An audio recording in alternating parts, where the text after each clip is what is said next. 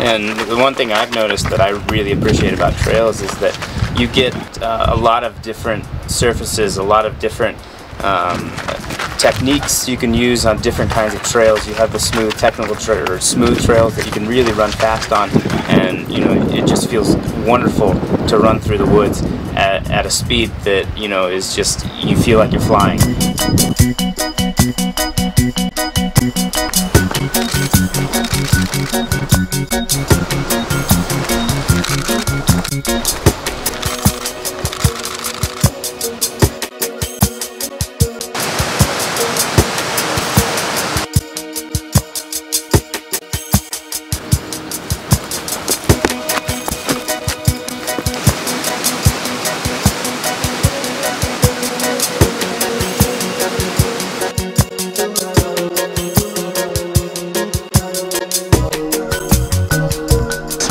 Well, I mean, it's just I've been in athletics and uh, track and field and been running road and cross country since seventh grade and kind of found out that you know that was kind of my passion was individual sports and to just go out and hammer myself you know as hard as I could against other competitors and not have to rely on teammates and you know and that's always uh, a part of the joy of that has always been able to go out in the wilderness out like this um, and just enjoy the trail as part of training.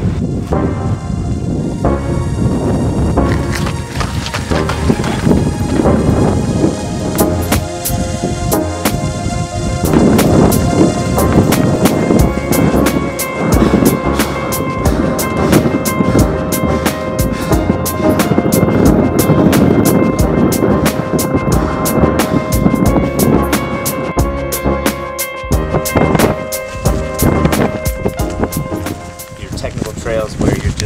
kind of running and, and you feel